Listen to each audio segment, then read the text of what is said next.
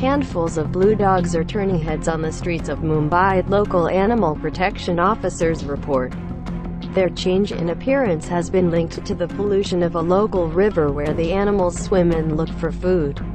Industrial waste is being pumped into the Kasadi River in Navi, Mumbai. Next to the Maharashtra state capital in western India, and the water has long been deemed unfit for human consumption.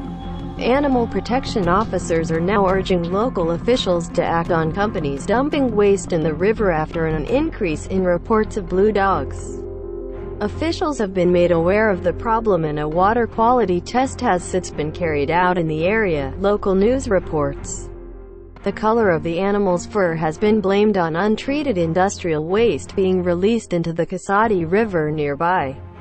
The local pollution control board has ruled the waste treatment was inadequate with high levels of toxic chloride in the Kasadi River. The water in the Kasadi River in Navi Mumbai, next to the Maharashtra state capital has long been deemed unfit for human consumption. Studies quoted in local newspapers have also showed that the overall pollution levels in the area had been raised by 13 times the safe limit. Yogesh Pagati, a local fisherman in the area said, after numerous complaints to MPCB over the years only the stench at Kasadi has reduced.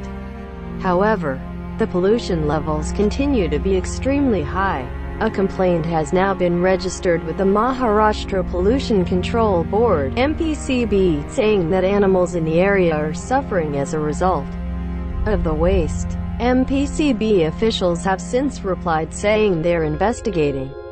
A spokesman said, allowing the discharge of dye into any water body is illegal. We will take action against the polluters as they are destroying the environment.